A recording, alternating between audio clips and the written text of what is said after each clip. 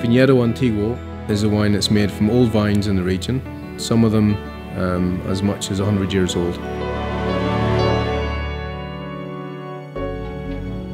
And old vines give grapes and the wines that we make from them plenty of richness, complexity and depth.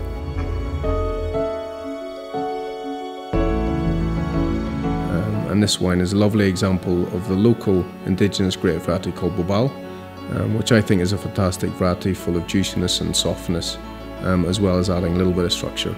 Um, but a really great example of this um, indigenous variety from Spain.